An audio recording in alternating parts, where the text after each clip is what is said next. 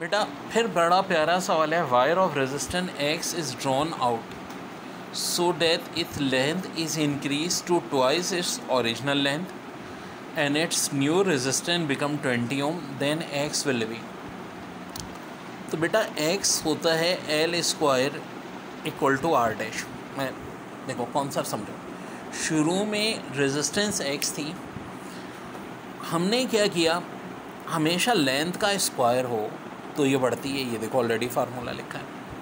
पुरानी रेजिस्टेंस को लेंथ के स्क्वायर से। पुरानी रेजिस्टेंस नहीं दी हुई हमें, ठीक है? नई रेजिस्टेंस दे दी है बीस।